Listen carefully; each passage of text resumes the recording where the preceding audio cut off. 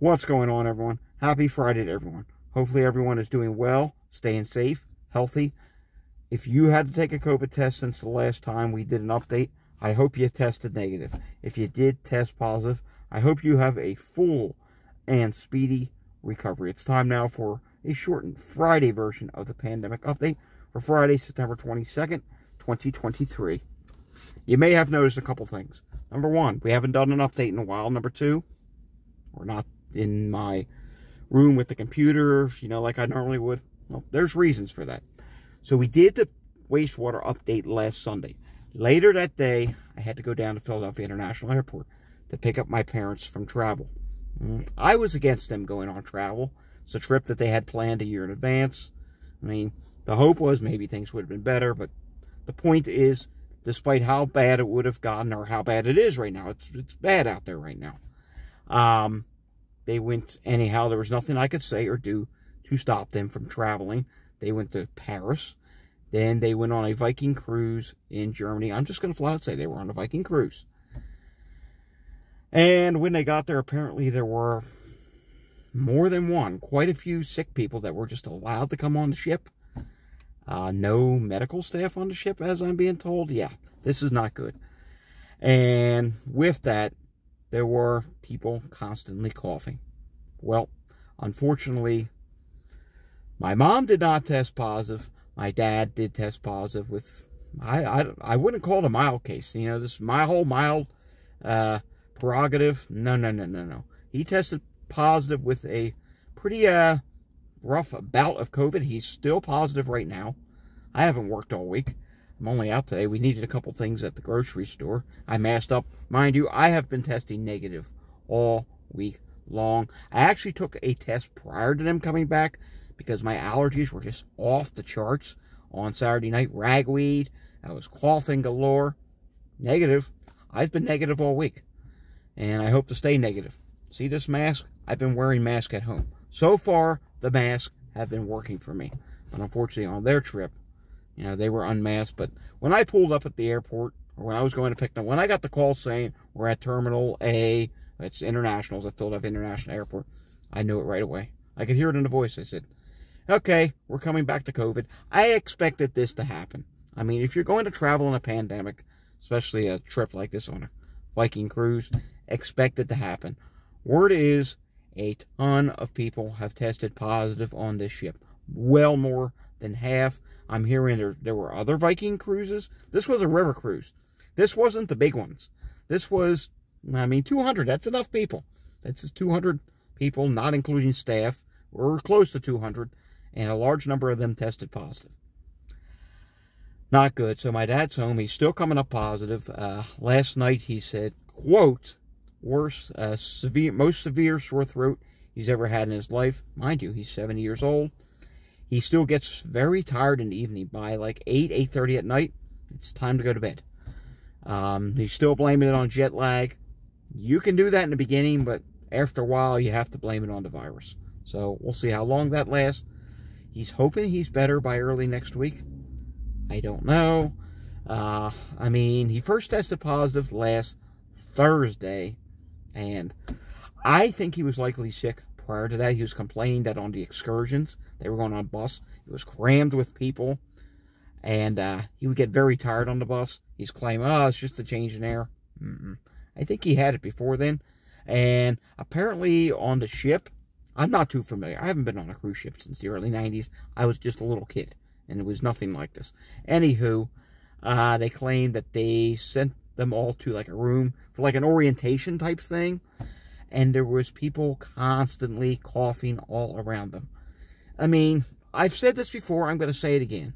I mean, obviously, I wouldn't travel during a pandemic, but if you're going to get on a cruise ship, these cruise lines need to require a negative test before you can get on. If you show a positive, you should not be allowed to get on the ship. But here we are. I'm also told there were no medical staff on the ship. Ridiculous. You can't have one doctor or someone who's medically trained on the ship. What if someone's having a heart attack? What if someone's having like a sudden medical emergency? Now, this was a river cruise. I mean, it's along a river, but you get the point. No medical staff? there are 200 people on the ship. I think that's a high number. I think that should require at least one medically trained person to handle a sudden medical emergency. And I was told someone asked, Are there any medical staff on the ship? And they really tried to dodge that question as much as possible. I don't know what the answer was, but they were like, Oh, well, this question again. Come on. These cruise ships, these uh, cruises, they're not cheap. You can't have one medically trained professional on the ship. That's totally ridiculous. So, yeah, when I put on here, I put a thumbnail. You know, it helps attract viewers, whatever. Most, majority of people, when they do a YouTube video, they put a thumbnail on there, you know, to, I guess, grab attention. I don't know. I do it. Mine's, uh, I think mine's pretty alarming. I put, the pandemic is not over. You know what, folks? It's the God's honest truth, and I'm personally seeing it right now. The pandemic really is not over. There's more I should tell you. They went with uh, two, they met up with two friends. Uh, both of them are sick right now. One of them has tested positive. The other one is not positive, but also sick. You can speculate. I can speculate. It likely is COVID, but they're claiming it's not. Whatever. That's besides the point. The point is, people are still getting sick in high numbers. Travel right now is not safe. I don't recommend going on these uh, pleasure cruises or whatever you want to call them, luxury cruise. Uh, also, we got to talk about something else. COVID. It's really varies from state to state in the United States right now. We're watching New Jersey. Hospitalizations are rising. But I'm also seeing something else rise in New Jersey that I don't like to see. There are over 70 people in the ICU now. Their hospitalizations are over 500. But the number in the ICU, it's going up again. New York State right now for COVID hospitalizations. They kind of like leveled off last week and this week, but that's probably not going to last. There's these HV variants. And hang on, let me catch my breath. These HV variants, uh, it's HV.1. There may be more that pop up. We don't do a lot of sequencing. That's likely to cause the next wave going into October. And it's going to start at a different time in each state. So each state is really varying. New York State, while not dropping, that's still at the high level that it reached with the previous EG.5. And mind you, EG.5 is still rising as well. Then you go to places like Florida or Texas, dropping right now. Then you go out to the West Coast. West Coast still seems to be doing bad. Look at Las Vegas. There's some outbreaks in Las Vegas right now. Jimmy Kimmel tested positive. Um, Steve Martin's crew. We don't know. It says including one essential person. Doesn't say if that's actually Steve Martin himself. He didn't state that in his tweet. But the point is, his crew tested positive. Uh, there was a talk show host, Shari something. She tested positive the other day. We're seeing outbreaks. Let's go back to the Northeast real quickly. Vermont. There's a private school in Vermont. They have roughly about 300 students. 70 of them now positive for COVID. There's 14 other outbreaks going on in Vermont. And to make matters worse, the White House knows things are bad right now. The good part about the White House knowing that things are bad right now is the free at-home test. They're coming back. But there's a problem. We tried to get my dad a PCR test the other day. I, I took him to the urgent care. I set up an appointment. They wanted a hundred, over $150 for a PCR test he was not willing to pay that. So in the end result, he did not get a PCR. I really wanted to get him one for his medical record, but he says, well, that's too expensive, blah, blah. I'm like, fine. So he at least saw the, um, he at least saw the doctor there. They saw whatever. There were two German drugs that he was given over in Germany. I don't know what they're called. I, I think actually on the box, I think it's written in Germany. He didn't want to take Paxlovid because he was told about a side effect from their friends, like, oh, no, no. So he didn't want to take it. Fine. I mean, if I should catch COVID, I'd be leery about Paxlovid, but hey, that's up to the individual person. If you feel you want to get a course of Paxlovid after testing positive, by all means, go out and do it. Go out and do it. I'm not telling you which drug to take, which not to take.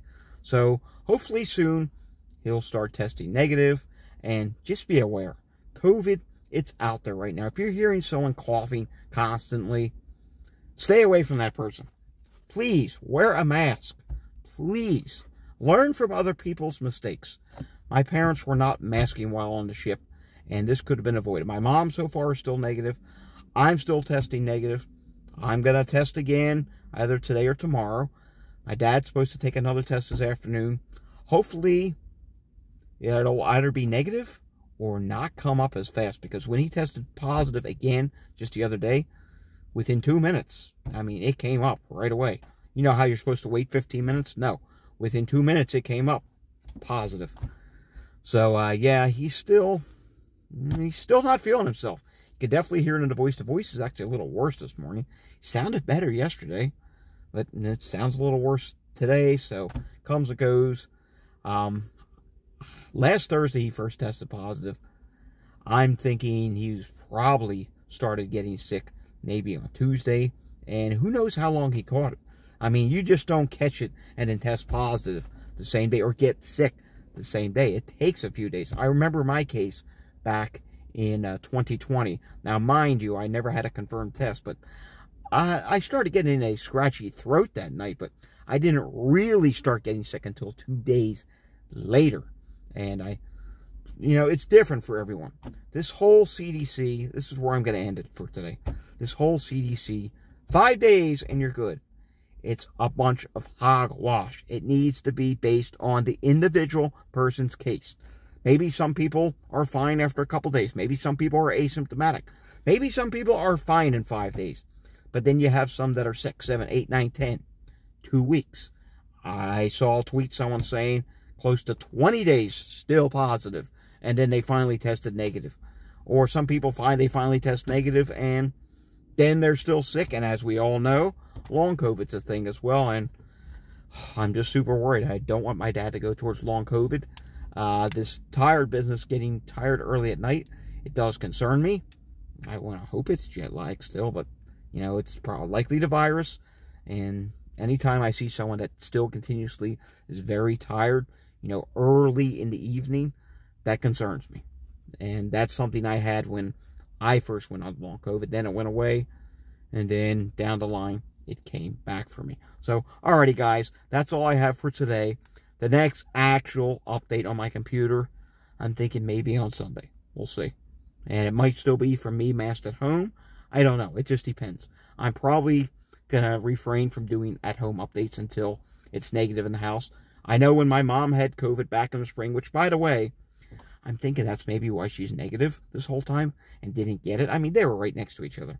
I'm thinking, oh, maybe she's negative because of uh, she has a little bit of immunity left from her spring infection. I don't know. And the other thing, you're probably someone's going to probably make a comment about this down below, and this really bothers me as well. They were allowed to come back from Europe. I mean, if you're positive and you're in another country and you're traveling to the U.S., it should just be required that you have to quarantine there till you're negative. I don't know why that's not in the guidance. That's I don't know why there's not a rule saying, oh, if you're positive, you can't come to the U.S. because that's another way that these new variants get in here as well. The whole thing is flawed. CDC guidance is just an absolute joke. I mean, I I am all the things I preach about. I am watching it unfold in my own family. Like all the things I warn about, I'm watching it unfold, and we'll just go from here. I think he's going to be better by this time next week, but, you know, fingers crossed. I'm not going to jump ahead of myself. I mean, he's definitely still sick. It's not coughing as much. Well, yes, he is still coughing. His worst symptoms were at the beginning of his case. He had the fever. He had the chills really bad. He said he was shaking. Said it was the worst he ever had in his life. And people say, oh, it's just a cough. It's just a cold. Well, if that's the, if he's saying at 70 years old, has had flu many of times in his life and saying that it's the uh, worst virus he's ever had, yeah, that's not just a mild cold. It's not just like, oh, it's no big deal. Or the ones that are commenting on these performers. COVID, who cares? Just put on the show. No.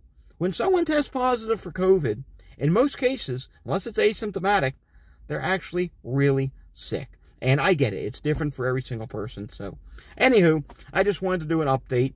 Uh, just be vigilant out there. I know the South is dropping. The North is rising. It's going to be different from state to state.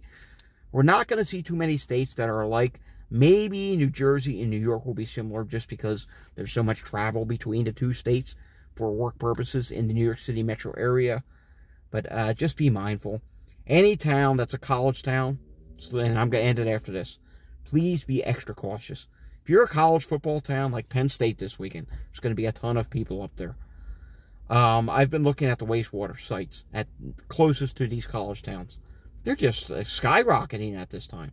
You can clearly see college football, these large gatherings, it's causing cases to go up in these areas. Be super vigilant. I mean, these people, they go there, they patronize in the businesses. These are employees that maybe they work outside, they live outside of the town. They then have to go home and take this to their family. They're mixing with the people in their communities. You know, it spreads, it multiplies. That's how it may start with just a couple people sick on the ship. Then it multiplies. As you know, my dad's now positive. So, uh, yep, that's all I have for you guys. I'll see you again next time. I'm thinking maybe Sunday, but really, the best way to uh, keep track of what's going on my Twitter at COVID Data Report, and then the name says Data Report. It's the same as this channel, but the tag really is at COVID Data Report. Just continue uh, following it there. As you know, I've been tweeting. I've been tweeting like crazy this week because I'm madder than ever that we've let this continue on so long. All right, I'll see you guys all again next time. Until I see you guys again next time, if you like this video, give it a thumbs up. If you want more content, subscribe down below. If you know anyone that needs this life-saving information, share this with them. Stay safe, everyone, and thanks for watching.